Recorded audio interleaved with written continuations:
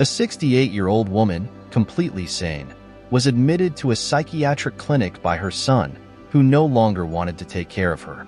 Marilia was born and raised in the city of Lisbon, Portugal. Coming from a dysfunctional family, she lived with her mother Catarina, who suffered from serious psychological problems, and her stepfather Ernesto, who was nothing more than an alcoholic and opportunistic man. Marilia's father lived with another family and had abandoned her when she was around five years old, which contributed to her mother's bipolar problems. At the age of 16, Marilia dropped out of school and started working to save money. She was very afraid of staying at home with her stepfather, and at the first opportunity, she thought about leaving that place. When she was 18, she met Fabricio at a dance in the city, and with the innocence of her youth, she quickly fell in love with him. After a few months, the two started to live together in a small house in the city. Everything flowed perfectly well, and they were in the best phase of their relationship. But a simple piece of news changed everything. Marilia discovered that she was pregnant. She was extremely happy and couldn't wait to share the news with her boyfriend. As soon as he arrived home, Marilia had bright eyes and a beautiful smile on her face. She couldn't hide so much happiness. The boy thought it was strange and asked what had happened to make her so excited. Static, Marilia told him she was pregnant. She was convinced that he would be happy with the news. After all, now a little angel was growing in her belly. But like a bucket of cold water, he released his painful words. He asked if she was going crazy, because that couldn't have happened, and that he would take her to a clinic the next day to solve that problem. At that moment, Marilia's world collapsed. She couldn't believe those words. I would never have imagined such insensitivity on Fabricio's part. It would be challenging, but she was determined to do everything for her baby, making it clear to the boy that she would carry the pregnancy to term, whether he wanted it or not. Fabricio didn't like that answer, but he didn't say anything else, remaining quiet and thoughtful throughout the night. Marilia had hopes, because probably when her belly started to grow, Fabricio would change his mind and accept her pregnancy. The next morning, as soon as she woke up, she looked to the side and didn't see Fabricio. She thought he had gone out to buy bread for breakfast, but was shocked when she came across the closet that was empty of any of his clothes. With a tightness in her chest, she began to cry. She never imagined that he would be capable of abandoning her, especially now that they would form a family together. She began to feel a tangle of feelings. I was distressed, and I felt very scared. In her mind, a whirlwind of thoughts made her even more insecure. But when she placed her hands on her belly, she felt such a pleasant feeling and such great joy that she never knew how to explain it. From that moment on, she swore to herself that she would do everything she could to give her son the best life. The months passed, and Marilia's belly grew. She found herself completely alone, and all she had was her baby. With each passing month, it became more difficult. Marilia worked during the day in a family home, and at night, she worked as a waitress in a restaurant. Sometimes she would secretly cry during her rest break. His back burned with pain, and his feet were extremely swollen from standing all day. Bad thoughts came into her head, making her think that she wouldn't be able to handle everything she was going through. But as a consolation, she looked down and saw there the whole reason for her effort. In the end, it will all be worth it, she thought. The nine months quickly arrived, and on October 1st, Lucas was born. He was a beautiful boy and very healthy. Alone, and with a lot of struggle and determination, Marilia raised Lucas. He was her greatest treasure. Despite earning very little, she never let him lack for anything. He worked day and night so he could save a little money, and he dreamed of giving his son a good education. The years passed, and as soon as Lucas finished high school, Marilia told him with great pride that he could choose higher education, as he had saved his entire life to provide him with a good education. The boy was very excited and told his mother that he wanted to study medicine. Marilia was very happy and proud of her son. She always thought this profession was very noble, and having a son who was a doctor would be an honor for her. As soon as the school year began, Lucas entered medical school in Lisbon, and because he was very intelligent, he got a scholarship that covered 50% of the tuition fees. With his studies, he barely stopped at home. When he wasn't studying, he was at a friend's house, having fun at parties, or dating.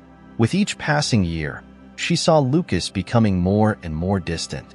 She really missed the old days and how cool Lucas was with her. He always said she was the best mother in the world, and he had her as his safe haven.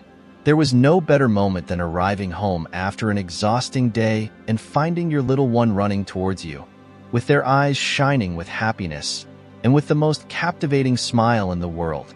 That moment was restorative for Marilia. But now, after her son grew up, she couldn't even remember the last time she heard the word mother. It was painful for Marilia to see her son so changed, but I believed it could just be a phase he was going through. Maybe after graduating, he would be more mature and spend more time with her.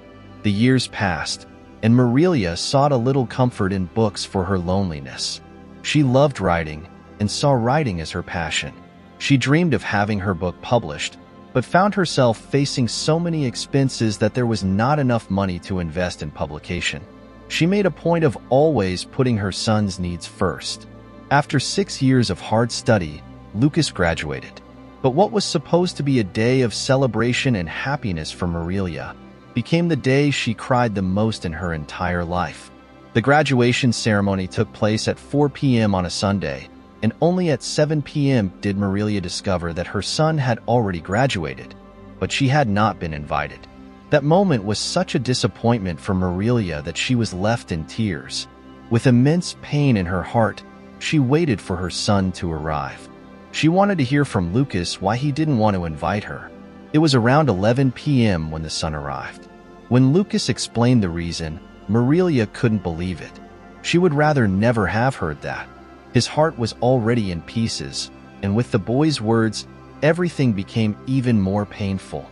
Lucas said he was sorry, but the place would be full of influential people with high purchasing power, and the presence of his mother, with a simple and humble appearance, could harm his chances of getting a good position in a renowned clinic, which belonged to Lucas's father. One of your friends. This would be an excellent opportunity, and he didn't want to let anything get in the way of his plans. Marilia was extremely hurt by her son. She never expected such an attitude. Lucas had transformed into a completely unrecognizable person. Over the years, Lucas became a highly sought-after doctor. He specialized in psychiatry and went on to a successful career as a psychiatrist. In addition to his growing career, Lucas also married Carla, a successful real estate businesswoman. Marilia was already 67 years old when she asked her son for help, as she was living alone in a small rented house, and the amount of her pension was not enough to pay the rent and feed herself.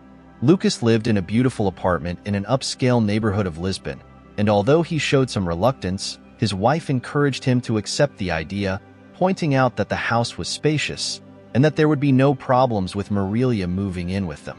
Marilia felt happy on the one hand, as she could be closer to her son, but she spent most of it sad, seeing the indifference that Lucas had towards her. A year had already passed since Marilia moved into Lucas's house.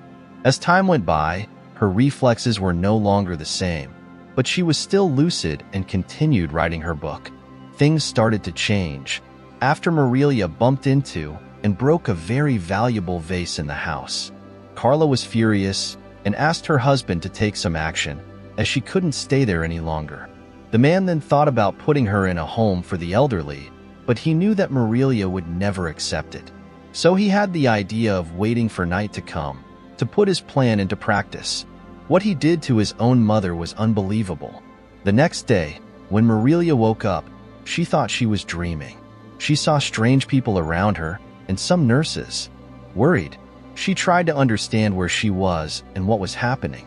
In fear, she began to cry and desperately seek help.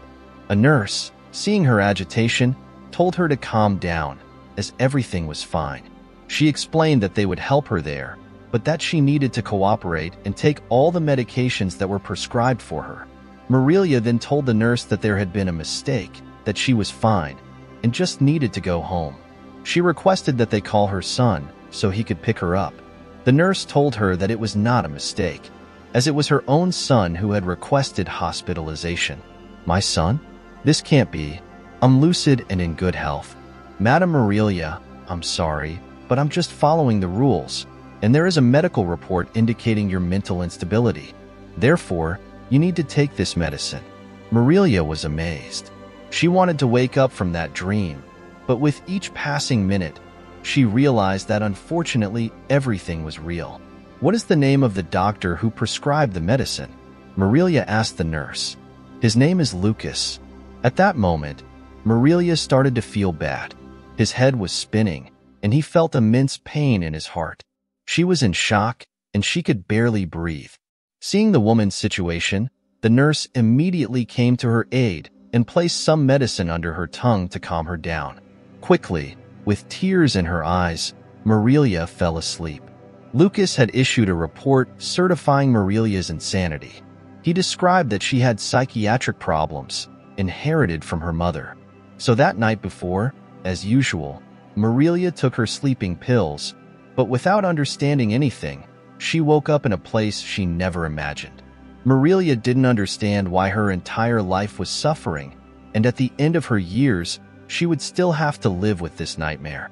A low blow from his own son, from the son I worked so hard to raise. What else should I expect from life? With tears in her eyes, Marilia reflected, looking out the window, seeing that now, she wouldn't even have freedom anymore. Her days were increasingly melancholy and painful. The only thing that made him feel a little better was writing his book.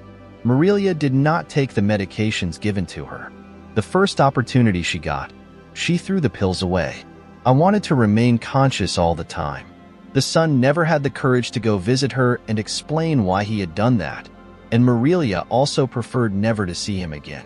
Every night Marilia cried softly, feeling the pain of betrayal and loneliness. Noticing that lady's sadness, a nurse at the clinic named Anna tried to console her. Over time, the nurse realized that Marilia was completely healthy and a friendship began. Anna had also been through several difficult situations in her life and shared her story with Marilia, who opened up about everything that was happening. Anna thought it was all absurd and was shocked by such cowardice on Marilia's son. On a certain day, Marilia made a risky request to Nurse Anna. She asked her to help her escape from that place. Anna was surprised by that request and explained that she understood the situation, but she couldn't help her as she would be risking her job and she had a young daughter to raise. Marilia understood the situation and apologized for the inconvenience. But that request wouldn't leave Anna's head. She thought about it for weeks. She kept putting herself in Marilia's shoes and knew that if she didn't help her, she would probably spend the rest of her life there. So on a certain night, during her shift, Anna helped Marilia leave that clinic, taking care that no one saw her leaving. She had planned everything carefully, and a car was waiting for Marilia at the clinic's door, so she could take her to Nurse Anna's house. Anna decided to secretly shelter her in her house, as she knew that if her son found her somewhere from the city walking down the street, would immediately take her back to the clinic. The next day, the nurses at the clinic realized that Marilia had run away and notified her son Lucas. The man was furious and asked for an investigation to be carried out, as he knew it was not possible to get out of there unnoticed without someone's help. After a week, things seemed to be calmer, and to Nurse Anna's relief, no one talked about the subject anymore. Marilia was extremely grateful that Anna had helped her, no one had ever been so good to her in her entire life. The two had a great relationship and had a similar life story, as Anna had also been abandoned by her husband and was raising her nine-year-old daughter Laura alone. Laura loved meeting Marilia and soon began to consider her like her grandmother. While Anna went to work, the two stayed at home keeping each other company. Finally, Marilia felt a little happy and loved, despite everything her son had done to her. But she didn't want to remember the past, and now she was just focused on helping raise little Laura and helping Anna with the housework. No one could find out that Marilia was there, so she avoided leaving the house. Anna returned from work at 6 in the morning, but on a certain day, everyone was surprised, as it was around 8 p.m. and Anna was already at home. She arrived very sad and announced that she had been fired. as they discovered that she had helped Marilia escape. Marilia began to cry, as she did not want to be the cause of the problems in that house, and was very sorry for what had happened. She wanted to go back to the clinic and testify on the nurse's behalf, saying it wasn't her fault, so they could rehire her. But Anna didn't let her do that, and said that she didn't need to apologize or worry because she would quickly get a new job and everything would be fine again. And so Anna did. She went out every day, looking for a new job. Another week had passed, and Anna was still unemployed. Marilia could feel Anna's despair, even though she tried to hide it, saying that everything was fine. Marilia felt anguished, carrying with her the weight of guilt for that situation. She tried to imagine a way to help her and wanted to buy some food for home, but her retirement card was in Lucas' care, making it impossible for her to receive it. Looking out the window, Marilia saw the flowers in the garden and had an idea. After Anna left home, and taking advantage of Laura being at school, Marilia picked some flowers, made an arrangement, and went out to sell. She wanted to get a little money to help with household expenses. After all, everything that was happening was her fault. Marilia took the flowers and headed to an area where her son would hardly pass. There she offered the flowers to pedestrians passing through the place. She spent the whole day selling the flowers, and there were only a few left to finish. She was very excited. After all, her plan was working. It was around 5 p.m. that Marilia managed to sell all the flowers and was returning home. She couldn't wait to get Anna the money and help her with the expenses. Meanwhile, Anna had just arrived home with her daughter Laura. She was very happy and wanted to tell Marilia the news straight away, as she had gotten a new job with much better pay than the previous one. Anna called for Marilia and looked for her around the house, but couldn't find her. He found it very strange, as she rarely went out. He thought perhaps she had gone for a walk and waited anxiously for her. But the hours passed, and the night came, and Marilia never appeared. Anna began to suspect that Marilia might have left, she considered the possibility that Marilia had thought that it would be better this way, since there would be one less mouth for Anna to feed. Anna was extremely sad and worried about Marilia. I didn't want her to leave. He considered her as her mother, and Laura adored her too. She didn't understand why she had done this. He began to think that Marilia was cowardly, thinking about how much she had helped, so that in the end, she simply left that house without even saying goodbye. Hurt, Anna turned on the TV to try to distract herself and forget the sadness she was feeling. When Anna turned on the news channel, she learned about something that had happened that made her world fall apart. The news was about a case of a woman being run over on a busy avenue in Lisbon. According to information, she was crossing the street when a speeding motorcycle hit her. Anna didn't want to believe it when she saw that that lady was Marilia. At that moment, she felt destroyed by the pain that consumed her. Unfortunately, Marilia did not survive and died at the scene. She took with her the gratitude and affection she had for Anna and little Laura, who were her family at heart. After a few weeks of mourning, and with an immense void in her heart, Anna decided to read the book that Marilia was writing and was able to see her entire story there. Marilia was writing about her life and about everything that was going on, and she had stopped at the part where she was going to sell the flowers. Thinking about keeping Marilia's memory forever, Anna decided to finish the book and write the end of that story. Unfortunately, it wasn't a happy ending, but Marilia's story deserved to be told. The book was published, and the story reached several countries, just as it is now reaching you. The story quickly reached Marilia's son, the renowned Dr. Lucas, as well as all his partners and co-workers, who began to repudiate the attitude he had towards his mother. Lucas then began to be seen in a different light, leaving him without clients and partners. His clinic quickly went bankrupt, and his name became engraved throughout society. Unfortunately, Marilia is gone, but your story will forever be remembered. Thanks for watching. Comment below what you thought of this story and which city you are watching us from. Leave your like and subscribe to our channel so that together we can build a huge community that shares inspiring stories. Until later.